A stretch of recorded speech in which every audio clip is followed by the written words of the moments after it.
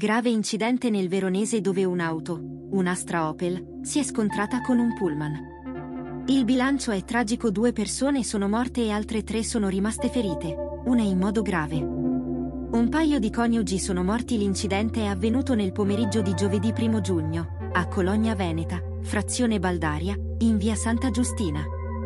Lo scontro è avvenuto poco prima delle 14. Le due persone decedute erano a bordo dell'auto coinvolta nell'incidente. Come riportato da Verona Today, ha perso la vita una coppia di coniugi ultraottanenteni residenti a Sarego. Tutto città la precedenza non rispettata e l'impatto secondo le prime informazioni arrivate sulla vicenda, l'auto non avrebbe rispettato la precedenza uscendo da una strada laterale. Il fatto di non dare la precedenza ha innescato lo scontro frontale con l'autobus della linea 236 della TV, partito da San Bonifacio e diretta appunto a Cologna Veneta. L'impatto tra i due mezzi è avvenuto a due chilometri dal capolinea.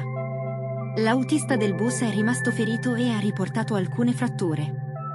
Sul bus erano presenti diversi studenti.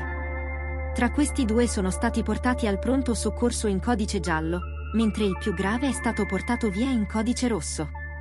Salvare sul posto si sono recati anche i vigili fuoco del distaccamento di Caldiero con automezzo, oltre al personale 118 con ambulanze ed elicottero. I tre feriti sono stati trasportati negli ospedali di Borgo Trento e San Bonifacio. I vigili del fuoco si sono adoperati per estrarre dalle lamiere l'autista del bus, oltre a collaborare con il personale sanitario. La strada è rimasta chiusa al traffico per il tempo necessario alle operazioni, che si sono concluse intorno alle 15.30.